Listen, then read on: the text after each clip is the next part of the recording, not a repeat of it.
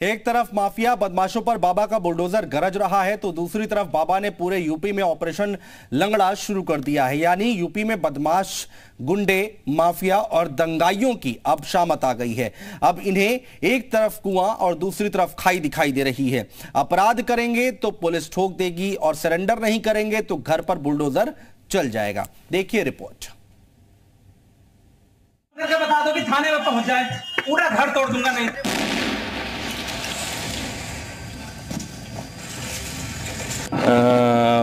Police के सामने समर्पण करने आया।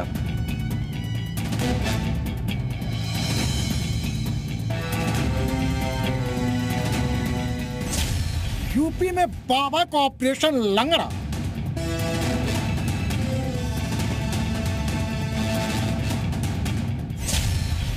खाकी के खौफ में माफिया, थाने में सरेंडर की लाइन। 2017 में बाबा ने यूपी में सुशासन और कानून व्यवस्था की जो शपथ ली थी, उसे बुलडोजर और बाबा की पुलिस बखूबी पूरा कर रही है। और यूपी में योगी सरकार 2.0 आते ही गुंडे, माफिया और अपराधियों की शामत आ गई है।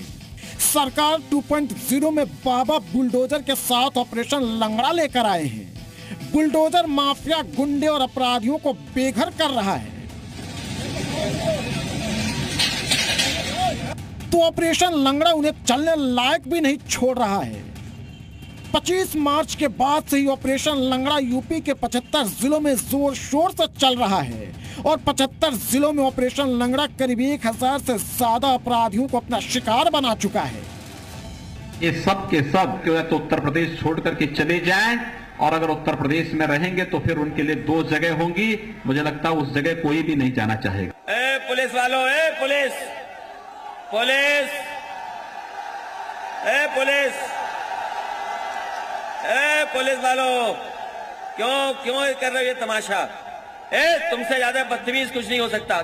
लेकिन जनता को बाबा की यही ठोको पुलिस पसंद है। और अब आलम यह है कि गुंडे, बदमाश और माफिया अपराधी सरेंडर के लिए थाने में लंबी लंबी लाइन लगा रहे हैं। वो भी पुलिस के बिना बुलाए। ये बाबा के ऑपरेशन लंगड़ा का ही खौफ है। कि अपराधी बिना बुलाए थाने में हाजिरी लगा रहे हैं। इनकाउंटर के डर से सरेंडर कर रहे हैं।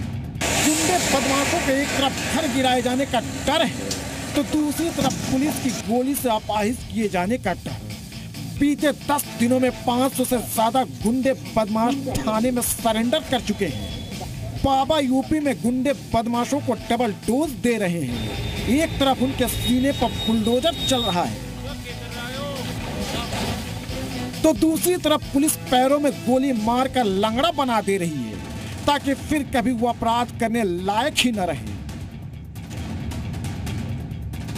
बीते साढ़े पाँच सालों में यूपी पुलिस करीब पाँच हज़ार से ज़्यादा इनकाउंटर किए हैं। इनमें सभी को पैरों में ही गोली मारी गई है, और यही है बाबा का ऑपरेशन लंगड़ा।